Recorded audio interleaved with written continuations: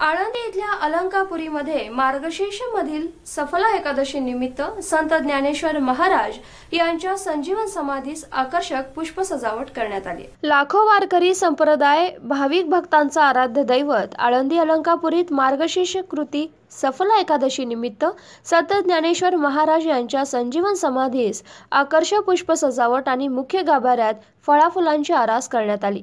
यामध्ये मुख्यतः अननस सफरचंद या दोन फळांना मान देण्यात आला. यामुळं संपूर्ण ज्ञानदेवांचं मंदिर गाभारा फळफुलांच्या सुगंधानं उजळून निघालं.